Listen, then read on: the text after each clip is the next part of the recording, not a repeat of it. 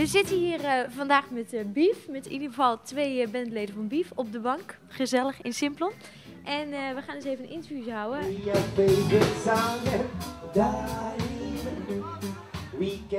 Hoe komen jullie eh, bij de titel of bij de naam Beef?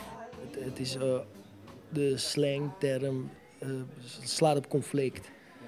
En, eh, en er waren een aantal dingen, als reggae band is beef niet echt een logische naam, want het is veelal toch eh, vegetarisch wat de klok slaat in, in de reggae cultuur. En daar hebben we ook in het begin heel veel, niet last van gehad, maar heel veel commentaar op gehad. Zo van, dat was toch eigenlijk best wel een rare naam. En, maar het is, het is een naam en, eh, en we hangen er al ongeveer tien, iets langer dan tien jaar aan en het voelt goed. Oké, dat is mooi. Eh, eten jullie zelf vlees? Ja, absoluut. Jij? Absoluut. Wat is jullie favoriete stukje vlees? Oh jeetje. Kom even, dit, daar komen we straks nog even op terug. Bram? Dij. Dij? Dij. Gebakken dij. En dat doe je dan zelf of ga je dan naar een eh, specifiek restaurant? Nee, dat, eh, dat- eigenlijk serveren ze dat alleen in eh, Kenia. Daar, daar kun je dij van de krokodil eten, dij van... eh, we hebben dat toch allemaal gegeten in dat, in dat restaurant? Hoe heet het restaurant überhaupt? Weet je dat nog? De Carnivore. Nou, De carnivore en na, dat kan je wel verklappen zeg. Dat was echt, dat was echt een carniparty, dat wil je niet weten. Er kwamen mensen met zulke spiezen. En er zat alleen maar, ik kreeg zo'n spies rund, en zo'n spies krokodil, en zo'n spies eh gazelle, en zo'n spies chimpansee, en zo'n spies pandabeertje, en zo'n spies, noem nog eens, dolfijn, en hele zielige dieren op, noem allemaal. En zo'n spies eh, kuiken, ijsbeer, endangered species eigenlijk. Het waren allemaal endangered species. Nee, maar dat was echt heel, heel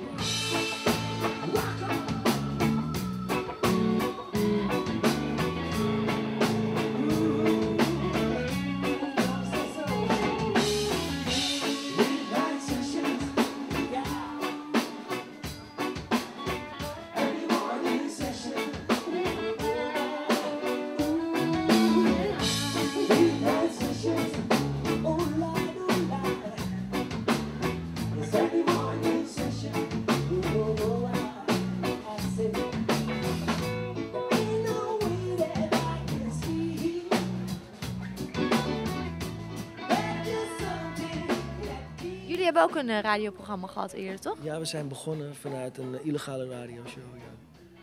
En wat voor soort programma was dat? Nou, dat was gewoon een collage van geluiden en liedjes die we maakten. En eh, veel plezier in de studio. En op een gegeven ogenblik deden we dat een tijd. En het, begon, het was op zondagavond. En toen had je, dat heb je nu inmiddels weer, Studio Sport. En toen begon in de buurt waarin wij zaten en waar we uitzonden, begonnen de televisies te storen. En toen zijn we daar uiteindelijk mee, eh, mee gestopt. Want er, kwam, er gingen mensen zoeken van waar, dat, waar die storing vandaan kwam. En dat waren wij. Oké, illegaal. Ja, ja. En zou je nu alsnog zo'n radioprogramma willen hebben, als stel dat het wel legaal zou kunnen? Nou, Bram, Bram doet nog steeds eh, zijn, eh, zijn radioprogramma. En dat, dat, dat is voor Afrika, voor Kenia, maar dat kan hij zeker zelf zeggen. Oké, Bram, Hoi. vertel. nou, ik heb een radioprogramma, dat heet Boom FM Reggae Radio. En eh, dat neem ik hier op en dat wordt uitgezonden in Kenia. Op eh, Metro FM en dat is zeg maar de 3FM van eh, Afrika. En dat is een, eh, een eh, super populair programma. Waarin wij eigenlijk vooral oldschool reggae draaien. En da- daarin onderscheiden wij ons ook van de rest van de programma's. En nou, dat is leuk hoor, want dat is echt eh, tegen een miljoen luisteraars elke zondagmiddag. En eh, ja, dus dat, dat, dat doe ik.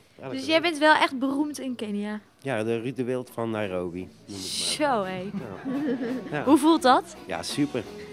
Ja, ik ga nog steeds op, de, op mijn fiets naar het werk. Maar ja, super leuk is dat.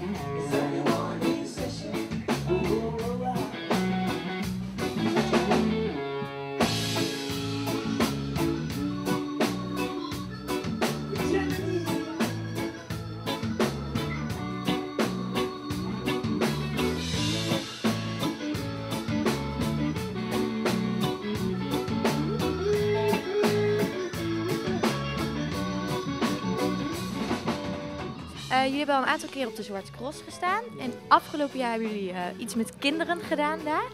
Is dat eh, iets wat jullie vaker willen doen?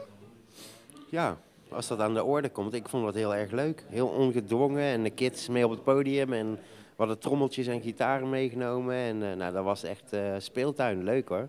Jullie potentiële publiek, zeg maar, kunnen we dat stellen? Ik doe het nooit meer. Ik vond het vreselijk. Echt waar? Ik heb helemaal niks met kinderen. Oh. Nee, ik vond het hartstikke leuk. en als het nog een keer mag gebeuren, dan vinden we dat echt prima. Ja, ik voelde me net ook een soort van ome Willem. Bah, ome Willem. Hup. En we deden een stoelendans en het was eigenlijk heel vrolijk. Je kan het op verschillende manieren aanpakken. Daar zaten we ook aan te denken. hè, In de vorm van een verhaaltje of in de vorm van dat. En het was eigenlijk allemaal weer vrije stijl. En het, was heel, het pakte heel goed uit. Dus dat was heel leuk. Denken jullie ook dat eh, kinderen in Nederland meer opgevoed moeten worden met muziek en kunst? Want Ja. Vlamingen, of in ieder geval Belgen, die zijn er echt van overtuigd dat dat Absoluut. goed is. Absoluut. Ik weet, ik weet nog dat mijn overgrootmoeder, als er een liedje op de radio was, dan zong zij eh, het in de, in de tonen mee. En dat was toen nog Do, Re, Mi, Fa, Sol. En dan zong ze C, D, E, G. Dus in plaats van de tekst zong zij de noten. En dan zei ze van, ja, dat is toch heel normaal, dat heb je op school geleerd, toch? Dus de, daar was de muziek. En dat, dat geeft een bepaalde eh, stemming bij de kids en kweekt een bepaalde interesse. En dat is heel erg belangrijk. Dus als je kan uiten en als je, je kan spelen met muziek, is vrolijk. Maar knutselen met klei, weet je, is ook wel belangrijk.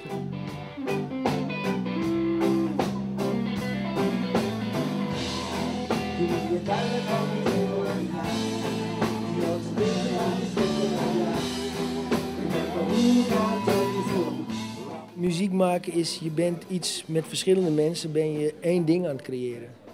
En dat moet, iedereen moet zijn plek kennen. En wanneer dat op momenten dat dat allemaal bij elkaar komt, dus als je met negen man op het podium staat, is het met negen man. En als je met zes man, dan is het, kan het met zes man gebeuren. En als je dan op het podium staat en wat jij doet, klikt met het publiek. En het publiek reageert daar weer op. Dat is zo leuk. En het is dan met publiek, maar ook in de repetitieruimte als er niemand bij is. Als je muziek aan het maken bent en je bent allemaal op diezelfde vibe, dat is, voelt hartstikke goed.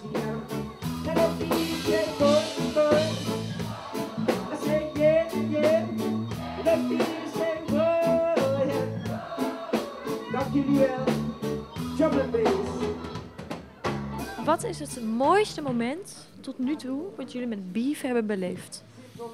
Ja, er zijn heel veel mooie momenten geweest. Van, eh, vanaf de eerste keer Lowlands, wat echt super overweldigend was en wat super goed ging. Tot een show een paar dagen later op een pleintje voor 75 mensen, wat ook misschien nog wel beter was. En eh, nou, we zijn natuurlijk een aantal keren naar Afrika geweest. Ik denk dat dat echt iets is wat je ja, voor, je voor je leven meeneemt. Hè. Voor, ik denk wel dat ik voor iedereen kan spreken. Dan is het echt bijzondere ervaring om in het armste land van de wereld, Burkina Faso, te zijn. En, eh, en allemaal door de muziek. Ja, er zijn veel dingen hoor, om te noemen. Maar dit is voor mij persoonlijk wel zo'n beetje, eh, ik denk wel Afrika. Voor jou? Ik sluit me daar helemaal bij aan. Oh, dat is fantastisch. hey, eh, ik wil nog even teruggaan eh, naar eh, het favoriete stukje vlees. Dus zou je nog even over nadenken? Oké.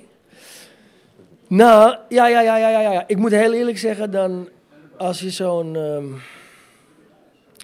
een sudderlapje, gewoon die al een tijdje in de pan, zo'n gezudderde lap. Ik hou van een gezudderde lap.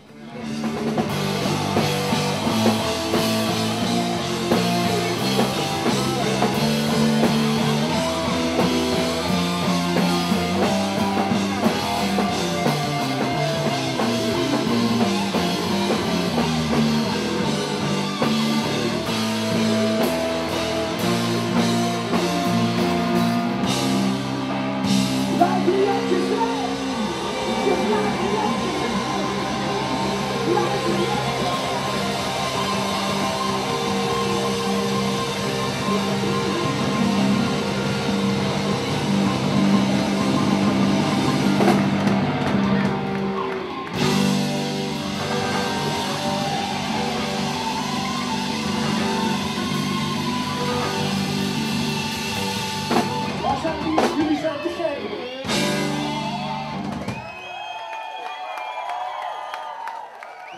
out.